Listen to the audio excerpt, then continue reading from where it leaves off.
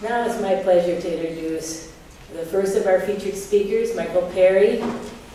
Michael was at our very first uh, book festival. He was also back in 2010, and now he's here again, and we're just so pleased to have him. He's going to be featuring his latest book called Jesus Cow.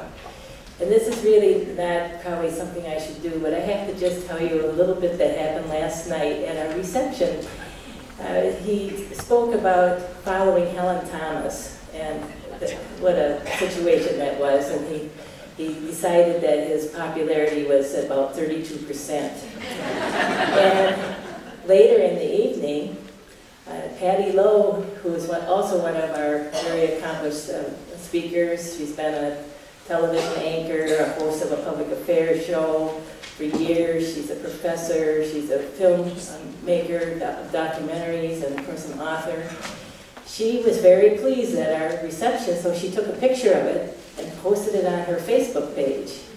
And so she showed me later that her mother, who's in her 90s, commented on her Facebook post, said nothing about Patty, but says how great it was that Michael Perry was going to be here. So, Michael, I think your, your popularity is going up. Anyhow, let's give him a warm welcome to.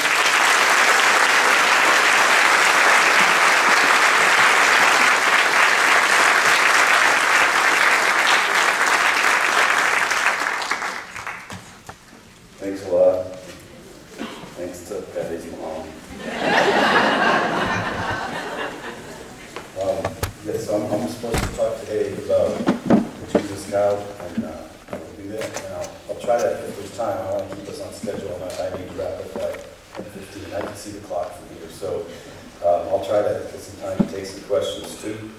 Um, but I think what I'll do is I'll just dive in without preface. I will read the prologue, or the two opening sentences to the Jesus Cow, and begin there. Prologue. On Christmas Eve itself, the bachelor Harley Jackson stepped into his barn and beheld there, illuminated in the straw, a smallish newborn bull calf, upon whose flank was borne the very image of our Lord and Savior, Jesus Christ. well, said Harley, that's trouble. so that pretty much, I really could just stop there. but I, will go ahead and read a, a little more from the, from the, first chapter then to establish the character. So this Harley, Harley's a, a bachelor, he lives in a small town in rural Wisconsin, and he keeps to himself pretty much and he doesn't have a lot of friends, but he, he has developed this one friend, uh, Billy. And uh, so whenever he Harley needs to make a tough decision, like what should I do about this calf with the image of Christ on its side, he called Billy. And so this is where we meet Billy after Harley's called him to come over to the barn on Christmas Eve. Billy Tripp opened Harley's barn door and fully filled the frame. Well over six feet tall and burly, with the stature of those men who carry a 70 pound overage like seven, he arrived clad in grim sweatpants and a capacious parka, and notwithstanding the Christmas Eve snow, stood shod in orange rubber clogs. he wore a beard the size of an otter. Billy was a decorated combat veteran whose wartime injuries had at one point put him flat on his back for the better part of a year. He and Harley were well along in their friendship before Billy shared the whole story. Anybody who says they're above it all has never been beneath it all, he said by way of conclusion, and then never spoke of it again. He lived surrounded by stacks of books and an innumerable census of cats in a single wide trailer on a sliver of property purchased from Harley's father during the years Harley was away at college. Upon his return home, Harley resented the presence of the trailer at the far end of the pasture, and by default its occupant, but one afternoon, as he struggled to repair the frozen apron chain of his father's manure spreader, the sky darkened, and it was Billy darkening the sun. As the worm gear turns, eh? said Billy.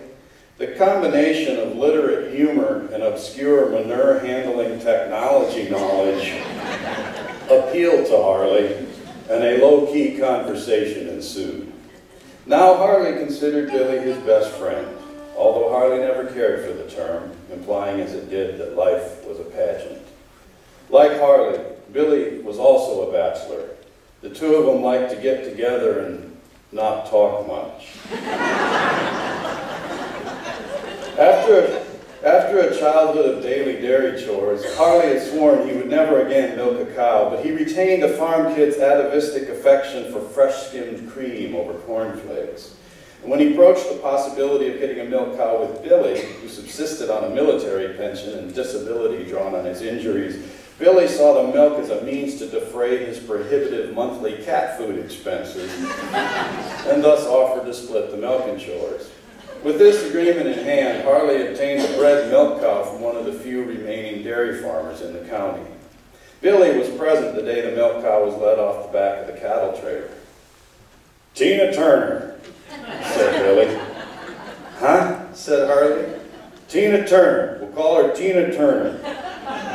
Harley had tried in vain to make any connection, some resemblance of hairstyle or mannerism, a certain strength to the gait.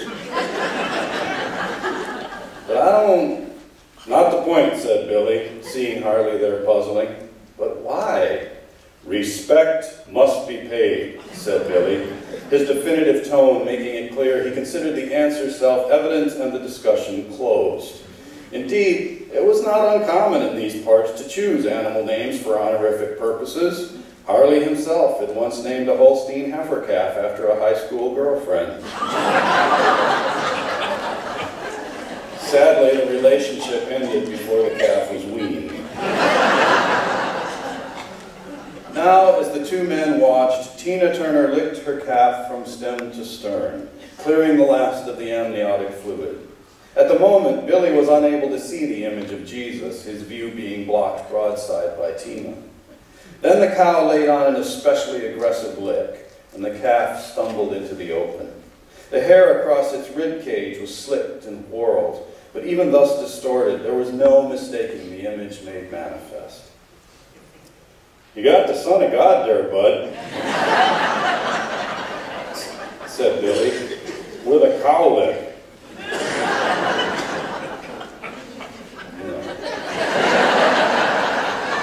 Like you left that one laying there.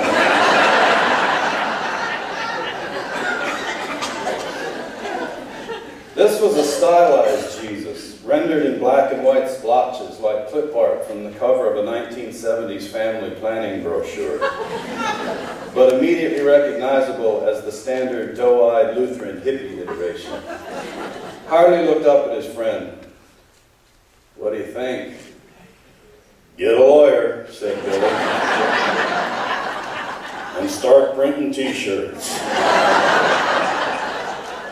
So that's the premise. Uh, people ask me if I was nervous about this book, and I said yes. Uh, especially when the title came out. I don't choose the title. Uh, the, the, publisher chose the title, I thought, well, that's certainly going to get some attention. Um, and, and the thing is, it's not far-fetched at all. There's a, this book is based on a, a concept called pareidolia, and pareidolia is a neurological phenomenon where you look at disparate images and your brain automatically throws them together, tries to make something recognizable out of them. And thus it is that once a week, someone, a picture's flying around the internet, someone sees the face of Christ in a grilled cheese sandwich, or they see the Virgin Mother on the wall of their basement. And it's just something very common. And the seed of the idea for this book, for me, was planted years ago. I used to do a lot of writing in a coffee shop in Nashville, Tennessee, called Bongo Java. And when you went to pay for your coffee, uh, by the cash register, they had this little glass enclosed and illuminated shrine, and within it was a cinnamon bun that was said to resemble the face of Mother Teresa. and indeed, it, it kind of looked like Mother Teresa, although it helped if you knew ahead of time.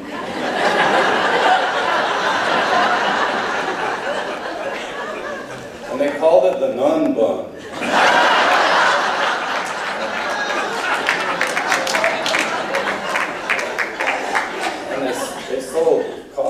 and t-shirts with the nun bun on them. Or at least they did until Mother Teresa's attorneys got in touch. Shut them down. But and then at some point in 2005, in dead of night, somebody broke into Bongo Java and they stole the nun bun. And it disappeared. And it was said to have resurfaced in Seattle, but those of us who follow this pretty closely believe that one's a fake. But anyway, it just occurred to me, well, what if you had a farmer living in rural Wisconsin and had this calf with what appeared to be the image of Christ on the side of it? What would you do? And that's basically how the story then unfolds. And there are a number of characters. There's this, uh, there's a developer uh, who's trying to take Harley's farm away from him, and his name is Clute Sorensen. And um, he has basically talked the small town. He's a, he considers himself a big shot because uh, Swivel has like 562 people in it, but Clute's from Boomler, which is nine miles down the road, and they they got four figures in their population. So he's kind of a big deal.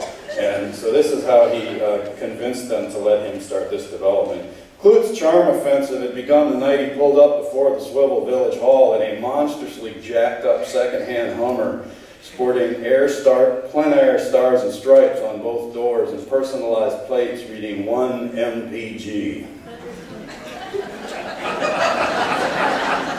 I got that from Nashville too. The first Hummer I ever saw in my life was in Nashville, Tennessee, and it had personalized plates. It said 1 MPG. I just remember thinking, brother, it's a free country. You can do whatever you want. But when the people with pitchforks come, it's you first. That's all.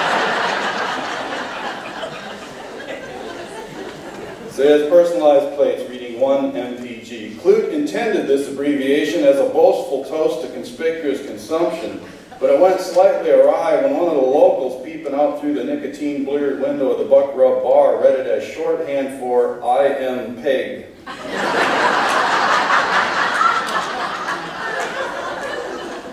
Even had Clute known this, he would not have been deterred, for he was not one to be deterred by the fact that before he switched off the Hummer, it was reverberating to the sounds of a motivational business audio book titled Stomp Your Way to Success.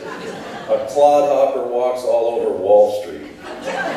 In fact, the passenger seat of the SUV was littered with motivational business audiobooks, the likes of 12 Steps to the Top Floor, Scream Like You Mean It, and Set Sail, Seven Shipmasters Share Their Success Stories.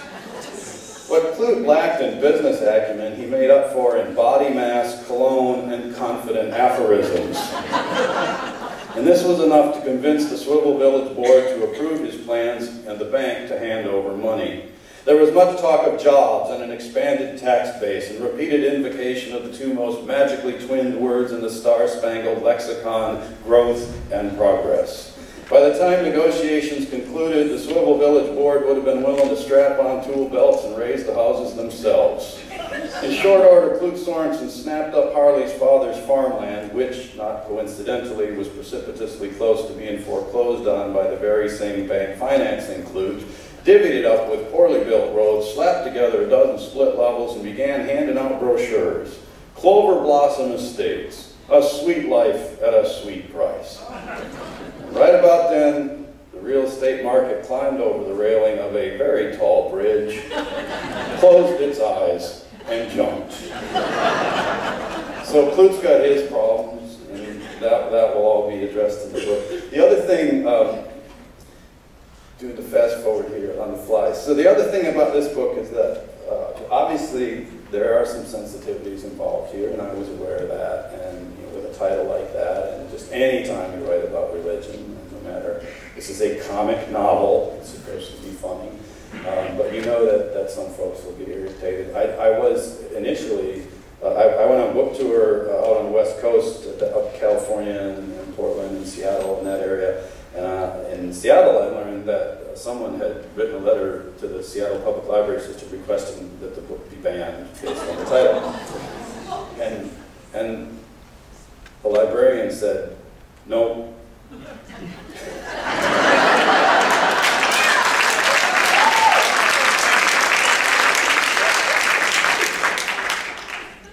I'm not gonna lie to you, I was a little disappointed. I thought that, I hope they put up a little more, the, the a woman who wrote the letter would put up a little bigger fight, but she just went away. And so librarians are pretty tough. But um, I actually do care about this because I was in an obscure fundamentalist Christian sect, and I've written about that in my other books. And I love to say the phrase obscure fundamentalist Christian sect because it makes people uncomfortable. they think I was raised inside a walled compound that we hoarded diesel fuel and fertilizer. we did hoard diesel fuel and fertilizer. Mostly we used it to plant corn. But it was actually, it was very strict, very unusual, uh, but uh, I also had a wonderful, loving childhood. And uh, what the, the shorthand version of what I usually talk about at this point is that I can no longer pretend that I believe what my parents believed, but I try every day to be more like them. And they are good, good people, and I would be nothing without them. And so it was important to me that in this book I also have a person of quiet faith in the book because my life is filled with those people. And so the, the character that I chose is this, uh, this woman named Meg, and her Meg. And Meg, uh, she, she owns her own junkyard and her own car crusher. Christmas morning broke to the rumble of a junk truck. Margaret Magdalene Jankowski came downshifting off the overpass and past the old water tower she had hoped to scrap. Her split-shift Ford straight truck squatting to the overloads beneath the weight of a dismantled combine. Meg was ninja grade with a blowtorch. A rusted harrow and a flattened Ford Festiva. The snug balance of the load testament to the fact that this was a woman who knew her way around ratchet straps and chain boomers. The truck pulled into the quick pump, and Meg, a slight and nimble widow in a watch cap and greasy coveralls, jumped out to pump the fuel. After paying cash for the gas, Meg turned left out of the lot and drove the truck a block into town, pulled a U-turn, parked along the curb in front of St. Jude's Catholic Church. Most days she would disappear into the chapel for 10 minutes, where she would light a votive candle, pray a decade of the rosary, then re-emerge to return up the road past the water tower, recross the overpass, and hang a left down the southbound ramp for Clearwater and the scrap metal processing center. But today was Christmas. When Meg dismounted from the truck and walked across the St. Jude's parking lot past the concrete Virgin Mary sheltering beneath the protruding half of a vintage bathtub buried in the vertical, she was carrying her best dress hung and sheathed in dry cleaner's plastic. Today the truck would sit parked all day long at the curb as Meg assisted Father Carl in the celebration of both Christmas morning masses. She was weary, having returned from midnight mass only a few hours previously, and prior to that having spent Christmas Eve day dissecting the combine, tamping down the festiva, and loading the truck. But for Meg, devotion trumped all. If it seemed strange that she had driven to Christmas services in a loaded junk truck, it helped to know that it was her only vehicle. If Meg was invited to remove a beached Buick from someone's yard, she arrived in the junk truck. If she had been invited for cocktails, she would have arrived in the junk truck. St. Jude's Catholic Church was nothing fancy. No soaring arches like the church in Boomla. No frescoes, no life-size, lifelike, bleeding and bethorned Christ mannequin nailed to a towering cross of solid plaster. Rather, the crucifix that hung above Father Carl during services was punched from polished brass, the suffering son represented in abstract fashion, his halo formed of tack-welded wire. St. Jude's had been constructed in the late 1960s from blueprints composed by an architect apparently heavily influenced by early brutalism and post-war basement rec room. the exterior was done up in concrete and browns, and the interior ran heavily to blonde paneling. The pews were padded with naugahyde. The carpet was a close-nubbed tan and mustard-striped affair, the texture of a polyester pot scrubber. And the figurines representing the 12 stations of the cross hung on their plaques like dated bowling trophies. The mustachioed, long-haired disciples projecting the look of gentle folk rockers. In short, you could imagine Michelangelo giving the whole works half a star. There were no bells in the belfry, rather a set of metal horn speakers hidden in a cupola that blared out tape-recorded chimes. But every single time Margaret Magdalene Jankowski stepped through the doors of St. Jude's, dipped her fingertips in the holy water and crossed herself. She thought, no, felt, only one word, sanctuary. So uh, that's kind of a setup for, for the book, The Jesus Cow. I, am looking at the clock, and if I, if I take questions, I'm going to go way over. And so um, I think what I'm going to do is I'm just going to shift gears here quickly. And first of all, make sure that I say my thank yous. Uh, just such a privilege to be here. I do remember being here 10 years ago and sitting back there and watching Helen Thomas speak, and it was, it was of course, riveting. She referencing presidents and all this history. and uh, but I was so scared to move because I'm such a clodhopper. I'm so clumsy. And she was this tiny little bird just you know, clinging to this podium. And I thought if I sneeze, I'm just going to, I'll be the guy. You know? Remember Helen Thomas? Yeah. Um, but I also, it was mentioned in the intro, I loved when she got up and left to sign her books. And so 78% of the crowd left. That's not theoretical. I could sit here and count and just do math. It's very simple. It's fine. It's good. Everybody's got to know where they stand. Um, so I'm very grateful. Also, uh, I know that uh, several staff members and employees of the school district have worked real hard to get this, uh, this school set up and ready for us today. So I want to thank them and I want to thank all the volunteers who worked so hard to put this together today.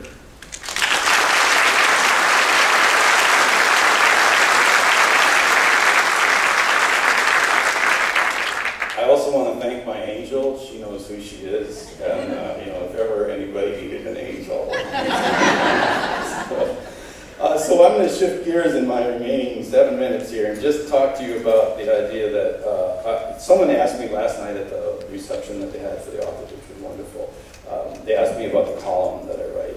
I write a column for the Wisconsin State Journal uh, every week. And so 50 weeks a year, I have a deadline, whether I feel inspired or not. And they said, how do you come, keep coming up with ideas? And I said, well, it's getting kind of tough, frankly. and, uh, and so uh, what I told this person is I said, you know, um, basically what I do is I wait for one of my brothers to call. Because um, if you've read my books, you know that my brothers are a fine source of material.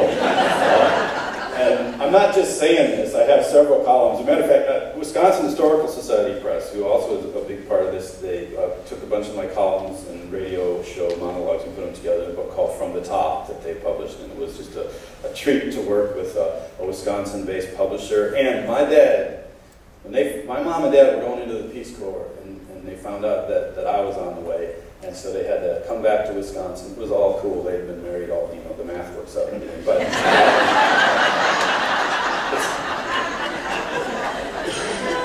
but the Peace Corps, they were all done with their training and ready to go to Asia. And then Peace, no, I don't know what they do now, but they said, no, if you're pregnant, you can't go. And so my dad came back home and started working in the paper mills here.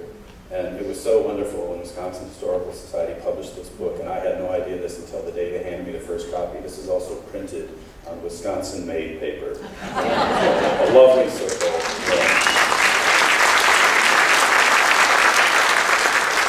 If I can squeeze it in in the time allotted, I'll tell the story of how, when I say that I, I rely on my brothers for material, that I'm not just joking. There's a there's an, a, an essay in here, a, a, little column that came directly from my brother. I was sitting at my desk. I had two hours till deadline, and there's no there's no flexibility on that at some point. They give me fake flexibility. They give me two or three fake deadlines that they know that I need to miss once in a while. But then, then there's the one where if you don't get it, you lose the gig, right? And I'm a self-employed is, people say, where do you get your inspiration? I say, well, my muse is a little bald-headed guy named Jim. He sits in a swivel chair nine miles up the road from me at the Chautauqua State Bank, and he holds my mortgage. if I write another book, he takes my house away. Simple. So uh, it's a symbiotic relationship. and uh, so if I don't have it done by Monday at noon is, is really the one. And I had two hours to go. I had nothing but false starts, and I was starting to get the, the cold sweats, and uh, I thought I'm going to lose my career, and my kids won't, I can't pay for the braces. And uh, so my phone rings, and it's my brother John. My brother John is a big, tall, bearded, backwoods-looking guy. He runs a bulldozer. He built his own airplane. He can do, you know, I mean, he, he runs a sawmill, built his own log cabin. He's this big bearded backwoods jack of all trades, super intelligent, but he speaks rather deliberately. and so he's calling me to tell, he's calling me to tell me that he was working in his shop on a bench grinder, and the stone that, of course, revolves at a very high speed disintegrated and threw a chunk of stone off at such a speed that it, that it basically shot him in the neck. It, it put a big hole in his neck, missed his carotid artery by just a hair. And so basically, you've got a situation where you are an eighth of an inch from a memorial service to a really excellent story.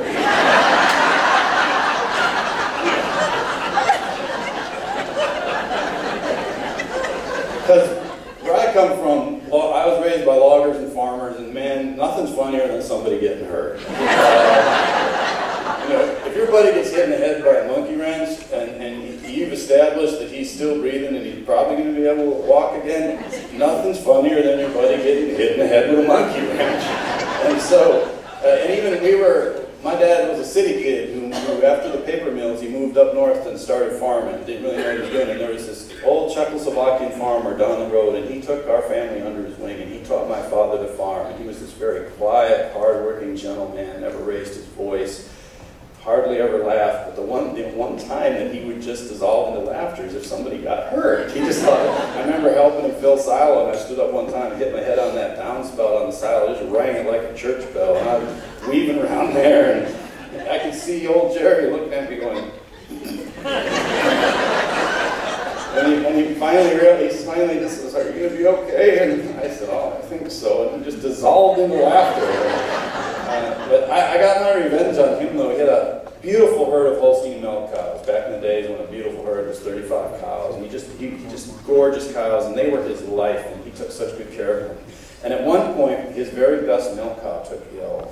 And he had the vet out several times, and it didn't help. She just kept declining, and she got worse and worse until the day came when she could no longer stand. And furthermore, it was clear she was in great pain and discomfort. And so, as you did in those days, he called my other brother, Jed, and he said, can you come over here, bring your deer rifle, and put this poor cow out of her misery? And so my brother, Jed, comes over uh, with his deer rifle, and he goes up in the manger, he dispatches the cow, and then, of course, they have to get the corpse uh, out of the barn, and so my brother backs a tractor up the barn door, and they they run a cable from the back of the tractor, and he hooks it up to the one hind hock of the cow, and he gets back on the tra tractor, and he starts pulling it out real slowly, and poor Jerry is standing right behind his cow, watching his best milk cow leave the barn, no longer living, and Jerry had one real bad knee, like a lot of farmers, he's just standing there watching his poor cow go, and what he doesn't notice is that while they're pulling on the one leg, the other hind leg got hung up in the stanchions.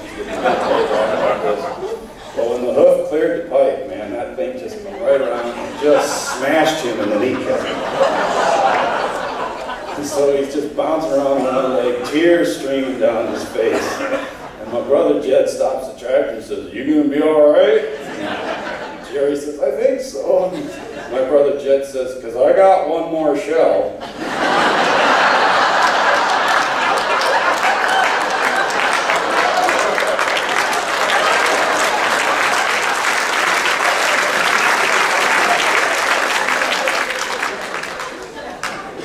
So there I am with just, you know, two hours to go till deadline, and my brother John is called to say that basically this chunk of uh, grinder shot, shot him in the neck, or as he said, yeah, got me right in the gozzel.